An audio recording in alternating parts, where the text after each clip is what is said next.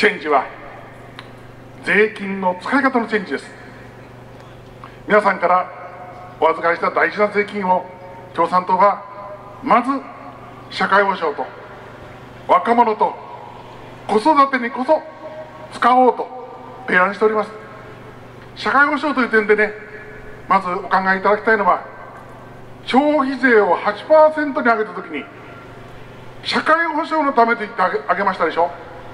その後福祉が良くなったでしょうか？良くなってませんね。社会保障費の自然増。安倍政権になって4年間。1兆3200億円も削ったんです。削りに削った。そのために年金はどんどん減る。医療費は上がる。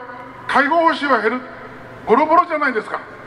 社会保障のためと言って増税しておいて社会保障をどんどん削るってのは国家的詐欺に等しいやり方ではないでしょうか。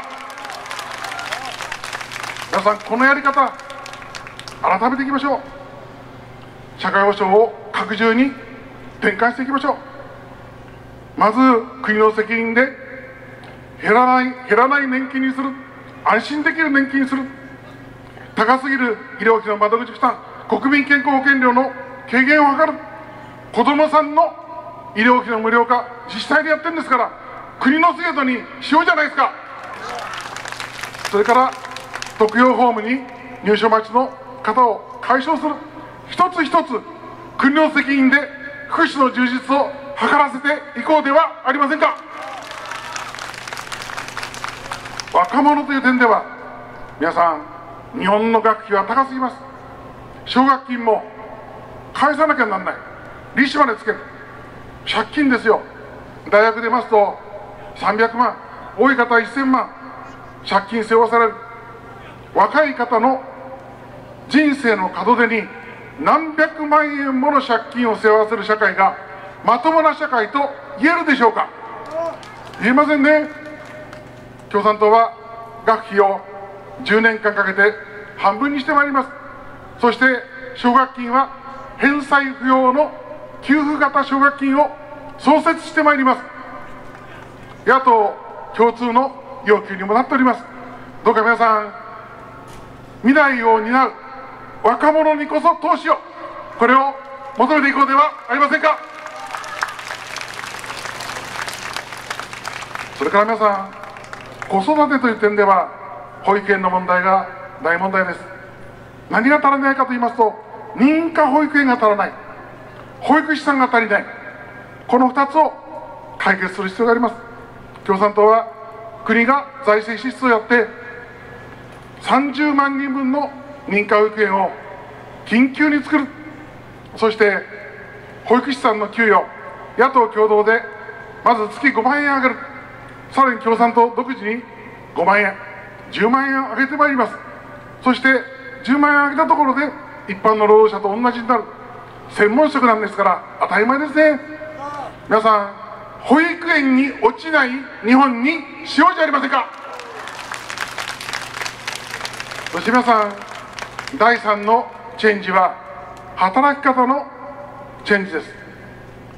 安倍さんは選挙が近づいてきたら急にね働き方改革ということを言い出しました。しかし私は言いたい。安倍さんは言ってることとやってることが全然違う。例えば安倍さんは長時間労働をなくすって言うんですよ。しかしやってることなんですか？残業代ゼロ法案。一定程度の年収以上の労働者はどんなに残業やっても1円も残業代出さなくていい法案出してますでしょ？こんな法案通したら日本中に過労死蔓延ですよ。こんな法律通しておきながらよく長時間労働をなくすと言えたもんです。長時間労働をなくすというんだったらまずこの法案を撤回してからものを言えということを私は言いたいと思います。それから皆さん安倍さんはね同一労働同一賃金急に言い出しました。しかしやってることなんですが私も去年安倍さんと大論戦しましたが労働者派遣法の大改革やった。これまで派遣は原則1年。最長3年3年経ったら正社員にする。これはルールだったんです。これをね取り外してしまいました。永久に派遣のまま使えるようにしてしまった。こんなことそのままにしておきましたらねこれ正社員がどんどんどんどん派遣に置き換わって歯止めが効きません。正社員ゼロの社会に道を開いてしまいます。正社員ゼロにしておいて同一労働同一賃金も何もあったもんじゃありません。私はまず政治の責任であるべきは非正規で苦しんでいる若者と女性を正社員にするための雇用のルールの強化ではないかと訴えたいと思います。そして皆さん共産党は最低賃金の引き上げを今訴えております。今すぐどこでも時給1000円。中小企業の皆さんへの支援をしっかりやりながら1500円に引き上げる。皆さんアメリカではね2007年に全米1000社の企業の社長さんが共同声明出しましてね最賃上げてくれと言ったんです。なぜそういう声明が出たかと言いますとねアメリカは州ごとに決まってるんですが最賃が高いところは雇用の状態が良くて失業が少ない。最賃の低いところは失業が多い。これははっきりデータ出たんですね。最低賃金が上がりますとね地域の経済良くなりますでしょそうすると雇用も増える。いい循環ができるってことははっきりした。だからその要求出したんです。これがきっかけになってね今アメリカでは15ドルが目標になってるんです。15ドルって言いますとね日本で言って1600円です。もうねカリフォルニアとかニューヨークとか大きい州でこれ実現しております。皆さんいいことはアメリカに学ぶべきではないでしょうか。日米の労働者が太平洋を挟んでね最低賃金の大幅引き上げのために連帯しようじゃありませんか。皆さんこれが共産党の3つのチェンジです。いかがでしょう。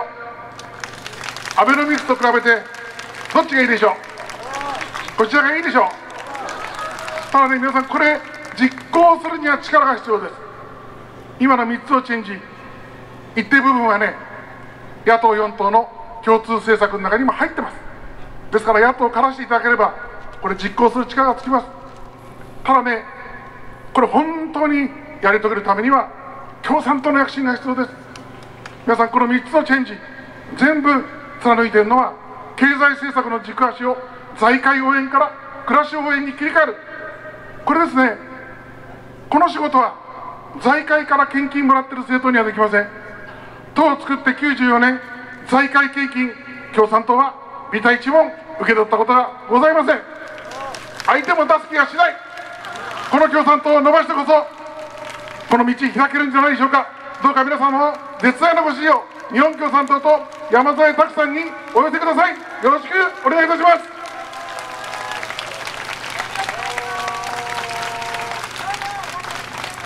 最後に皆さん冒頭に私野党共闘のお話をさせていただきました。今度の選挙残すところわずかですがせっかくここまで持ってきたんで野党と市民の共闘を必ず成功させたいと考えております。最後まで頑張りいきたいと思います。そしてね私はこの野党共闘はこの参議院選挙は最初の一歩だと考えております。参議院選挙の後もさらに発展させていきたいと強く決意しているところでございます。この野党と市民の共闘を発展させる上で一番の鍵になるのは共産党の躍進です。私たち共産党はこの間野党共闘を前進させるために2つの決断をやってまいりました。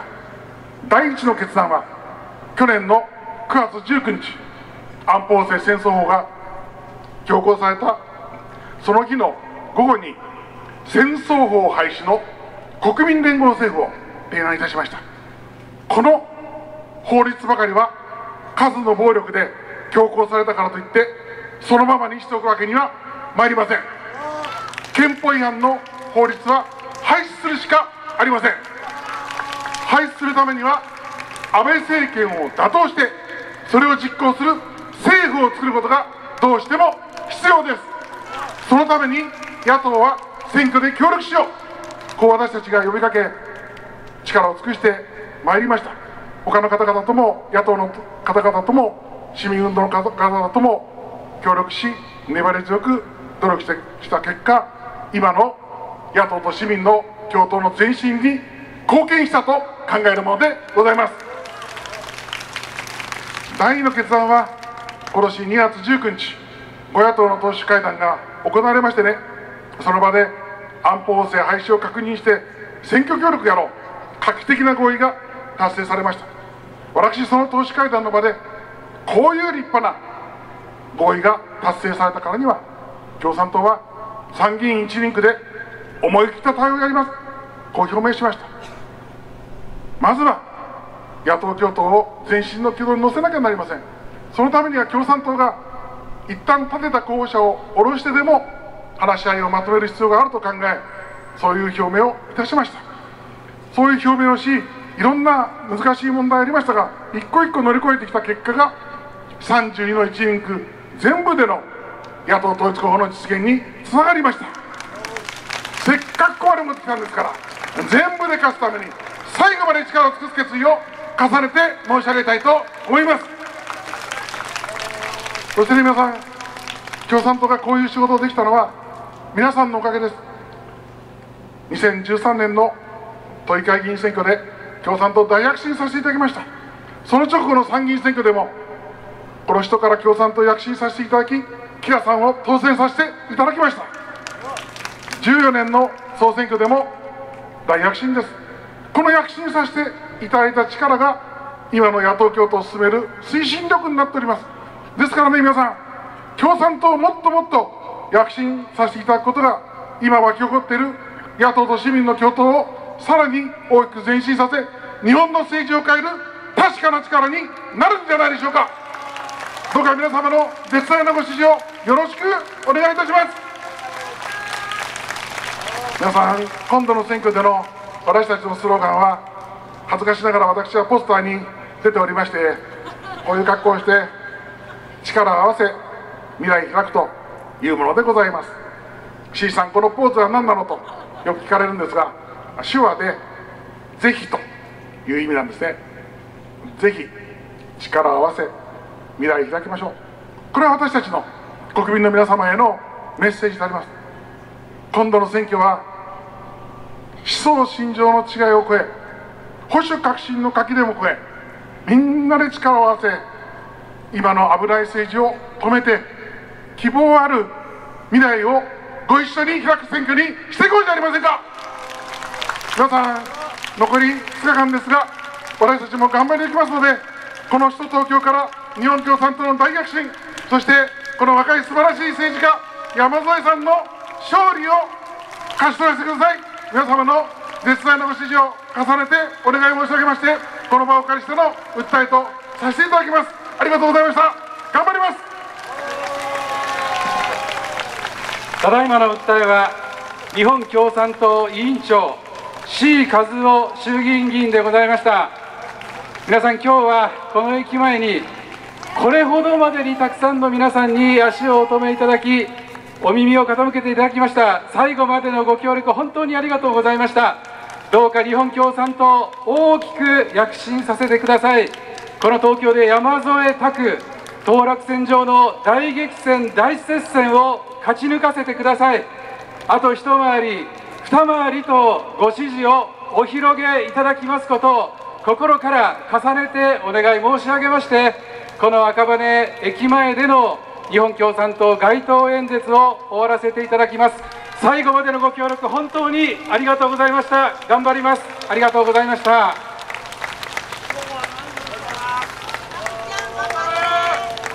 くさんの方々足を止めお耳を傾けていただきまして本当にありがとうございますどうぞ7月10日の投票日までもう一押し一回り二回りそして二回りお広げください政治の流れ変える大きなチャンスです日本共産党を伸ばしてくださいますよう重ねてお願いを申し上げますどうぞ皆さんの一票一票大きく日本共産党にお寄せください戦争への道ストップをさせましょう。安保法制やめさせましょう。安倍政権の暴走を止めるチャンスでございます。ぜひ皆さん力を合わせて政治の流れを変えていきましょう。皆さんのご支援を掲げてお願いを申し上げます。日本共産党が伸びれば政治は変わります。安倍元政治トップのあなたの意思を日本共産党にやってくださいぜひ周りの方々に本当にお力をお貸しくださいありがとうございます頑張りましょうよろしくあどうぞ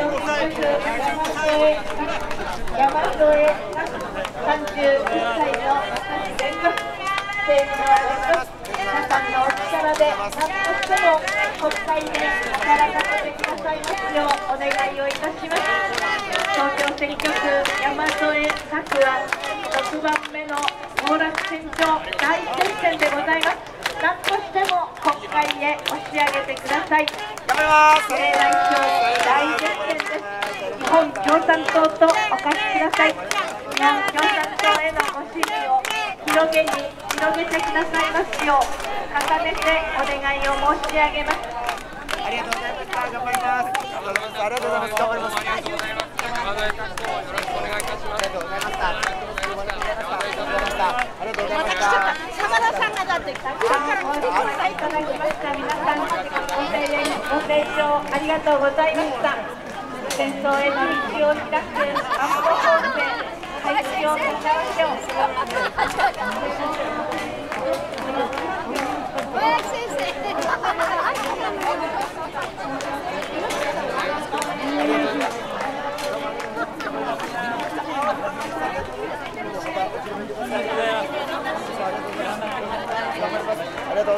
どうもありがとうございました。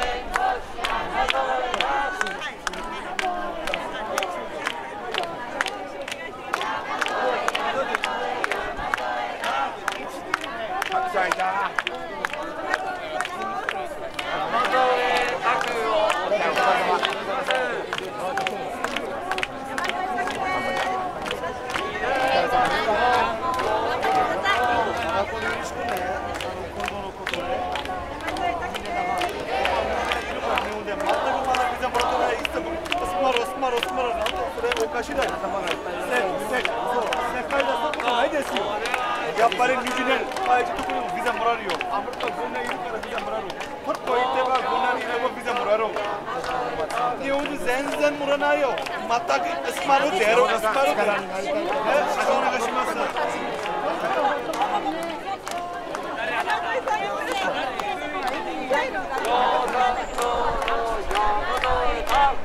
ありがとう。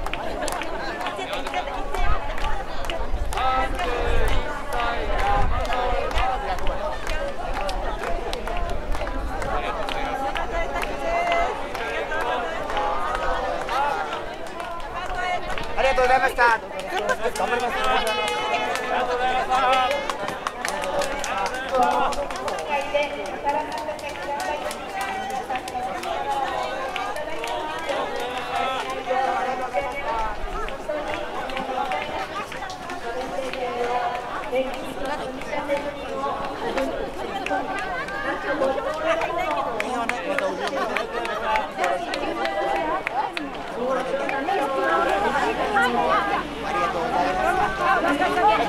す。よろしくお伝えください。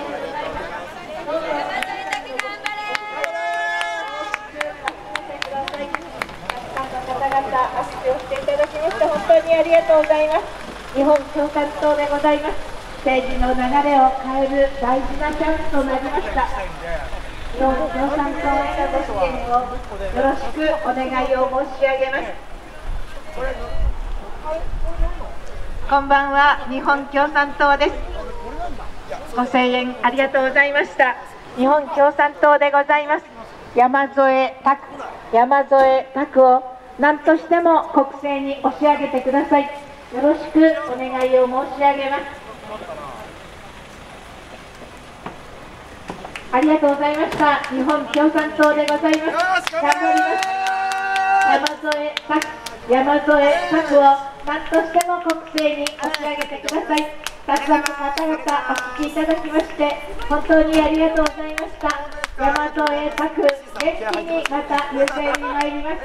どうもありがとうございます。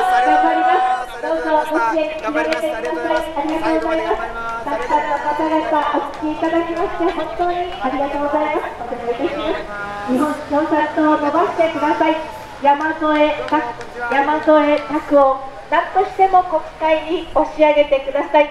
安倍政権、暴走政治にストップをかけるチャンスです。ありがとうございます。赤羽駅お集まりいただきました皆さん、ありがとうございました。山添拓、山添拓、元気にご支援広げに参ります。どうぞよろしくお願いいたします。31歳の若いブレイク山添